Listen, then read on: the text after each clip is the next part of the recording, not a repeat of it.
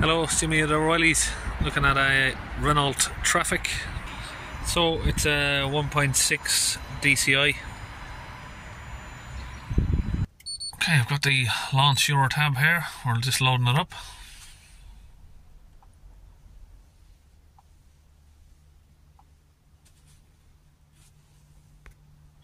Sorry, the screen keeps going off focus. We're just going to do a smart scan on the vehicle. Make sure ignition's on.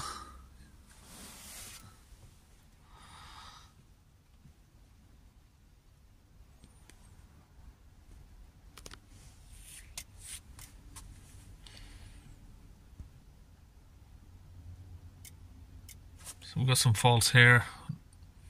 Don't think they're going to be related to what we're here for though, because we have a check injection. I'll show you that in just a minute once this is finished scanning.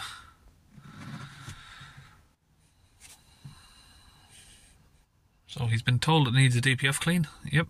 So the DPF is clogged, but why is it clogged? Uh, multiplex system for the speed limiter. Uh, preheating unit connection fault alerted. So we need to have a look at the glow plugs, and then he's got an oil dilution fault there. What else have we got here? Clutch pedal.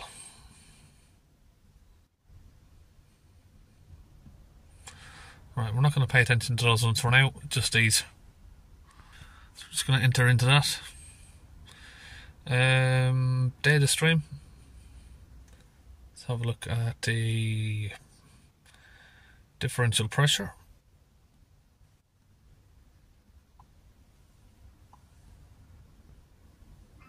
The soot.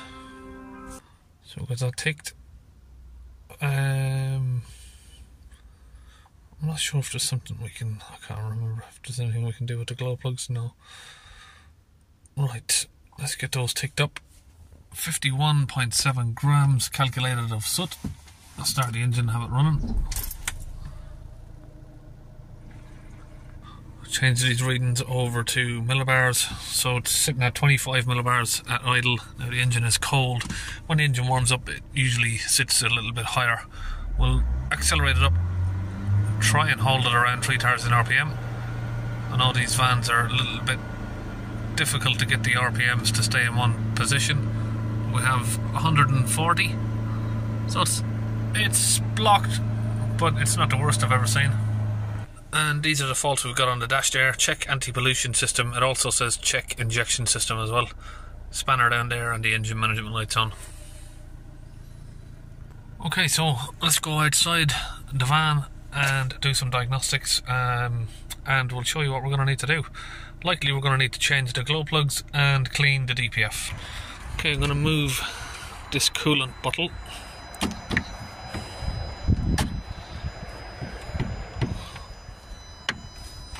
I should just clip out of there. Let it sit just over there. Glow plugs, we've got the electrical connectors just here so we'll take that out. Now I can't actually see the glow plugs from where I am right now because my head can only get just about here, but if I come down with the camera, there is the tip of um, glow plug number one, and then we have two, three, and four just over there. Okay, so just disconnected the little overflow there. It did splash a bit when I take that off. Just gonna tuck this little tube just behind there so it stays out of the way and we can get down to number four glow plug down there. We'll just unplug this plug here. Pull out this dipstick. So that's out of the way. So I've pulled out the plug there for number four, which is just down there. Number three there. And number two right there in front of the dipstick holes. That's why I removed that. Just unplug that. So we've got all of the plugs out now. So I've got a multimeter here. I've got it set to that one there which is ohms. And we've got the earth hair strapped to the engine and we're going to go along the tips of each glow plug. Let me just get that wire in there.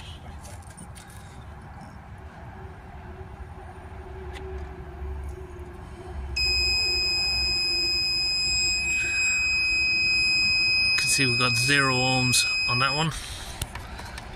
And we'll go to number two.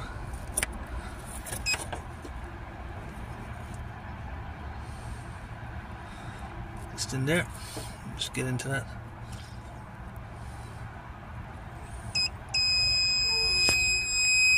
And we've got 6.5 and we've got the same on number 3 and then number 4 just down here.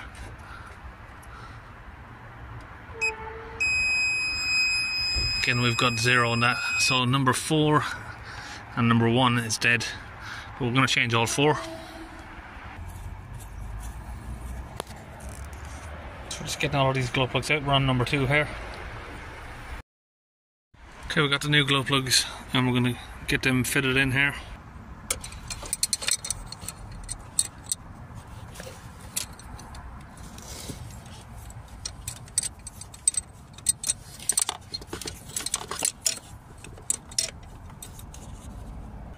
Okay, that's one, two, three, and four over there. Okay, that's all the glow plugs now, all tightened in, they're all torqued down. Just clip the coolant bottle back in place. Clip that little hose there back in. Okay, I'm back in my van, so I have Launch DPF cleaning fluid again in the uh, cup here that goes attached to the little gun nozzle and that attaches to the compressor. The compressor goes up to 9 bar, so 120 psi roughly, I think. 131 psi. Okay, we've got the cleaning fluid set up here. It's time to get under the van. Okay, so I don't know anything about these vans in terms of why they're all different, but this one has the DPF right here with the tubes in a nice, easy, accessible place. Now, some of them have the tubes that run up to the back of the bulkhead up there, and they are a bit of a nightmare to get to this sensor. This one is a much better design here, a lot, a lot easier to access it. So, uh, we're going to open one of these tubes, this one, right here. Got a little pair of these hose clip pliers. Give that a little bit of a pull. Get a little pick and run it around the inside of the tube just to get it to come away from the metal pipe it's on. Uh, we should be able to just pull it off now. It's much safer getting it off um, from this metal side here because if you give do all that sort of pulling on here, most of the time these plastic uh, pieces just snap off the end. Then you, then you need a new sensor. So now just get that nozzle pushed in there. It's a little bit loose, so we might get a bit of leakage. Pull the trigger.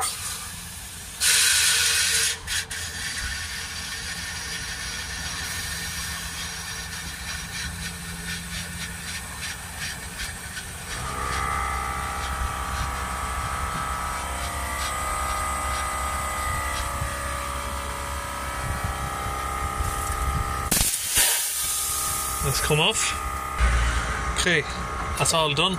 Pull it off.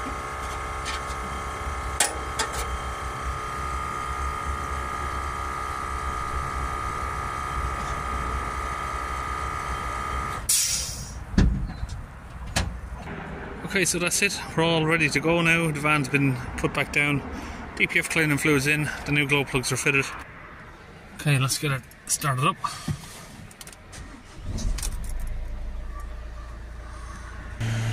We're gonna hold the revs up around sort of 3000 RPM again. And get it to stay there.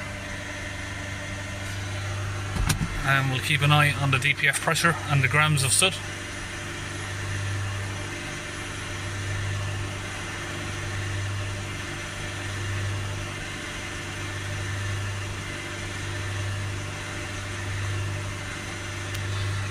the revs aren't really staying very steady, that's why its pressure's jumping around Try and get it to stay there. It looks like it's kind of steadied out there.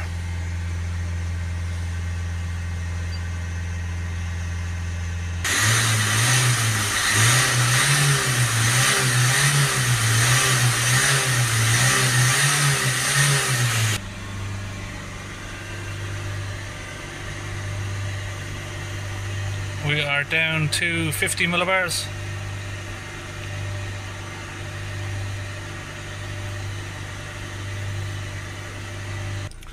And idle we are now down to around about 6 millibars.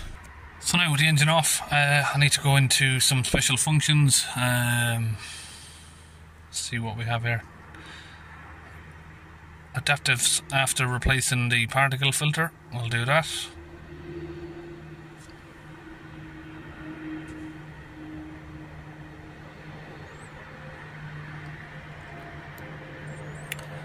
Now we the particle filter, but now the pressure is down, it's safe to do that. It's just going to get it to recalculate because the soot grams are now high and the fault code won't clear unless you do this replacement with the special functions. Okay, that's done. Okay, now back to the fault codes. Uh, now we've got these pressure sensor, uh, the manifold pressure sensor for codes because we unplugged it while we're fitting the the uh, glow plugs. Now the oil dilution, um, didn't really speak to the customer about that. Completely forgot about it. But yeah, we're gonna go and have a chat with him, tell him he needs an oil change. But we're gonna need to reset that now to get the DPF to work because it won't work with that code there. So first, I'm gonna clear the fault codes, and that will clear that message. There you go. Once that message is cleared, we can use these little buttons here. So we're going to go to there to where it says service required, press up on that, and we're going to press and hold it.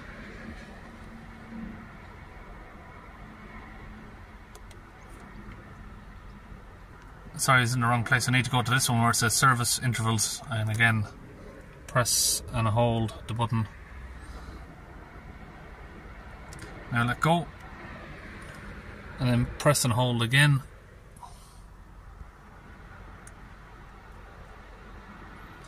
Wait until it stops flashing. 400 miles, that's not that's not right, is it? Okay, so I think I figured out there why it's saying there's an oil dilution. Someone's obviously been messing with the settings. Now this customer has had the oil changed not so long ago. So if we go through this menu, where is it? Service intervals. I think there's a way we can change it.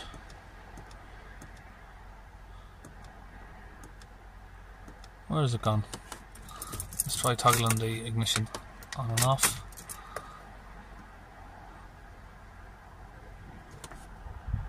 Okay, so I can't seem to remember how you do it on there, but we'll try and do it on the scan tool instead. Uh, special functions, service intervals for the dilution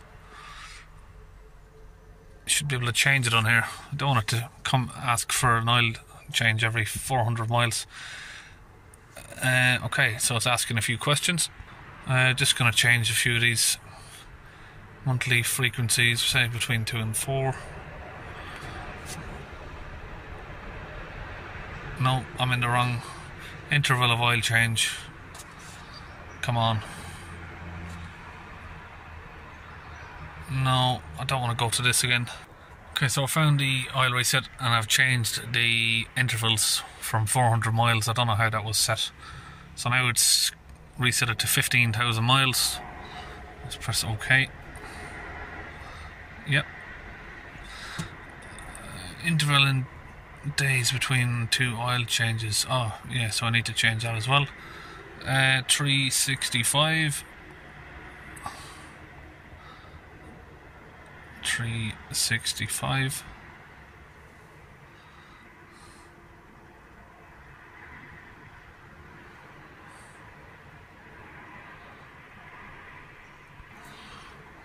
Okay, that should be done now, with it? Right, hopefully now that spanner will go off and it's not going to say it needs a service still.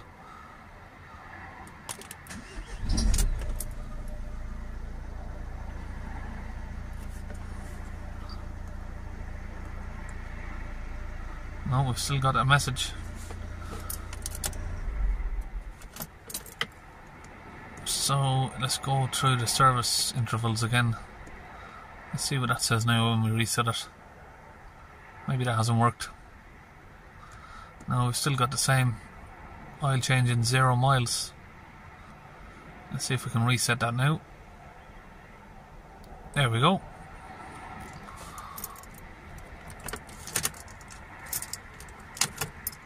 I think that went up to 6,000. Was that 6,000 miles there?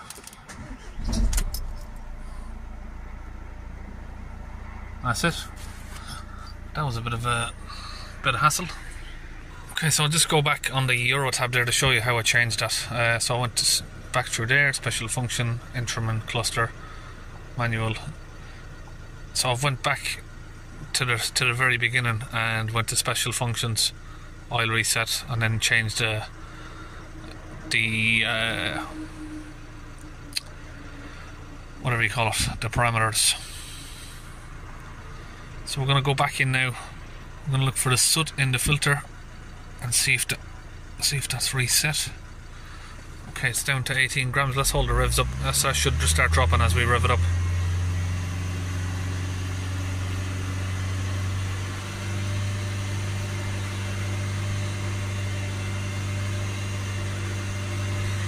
So notice with these vans that when you do the DPF reset, it doesn't it doesn't work.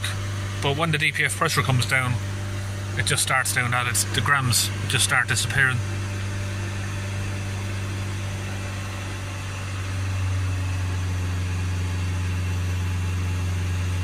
So just hold that here, a little bit of revs on it just for a couple of minutes until that goes down.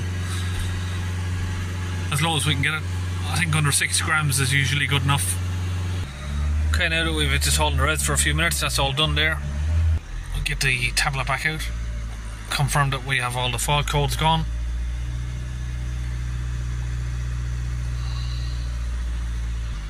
And we can now exit that and we should be all done. These can go back to my collection. One tried to get away there. So that's it. One Renault Trafic Vivaro, or whatever you like to call them, all done. See you in the next video.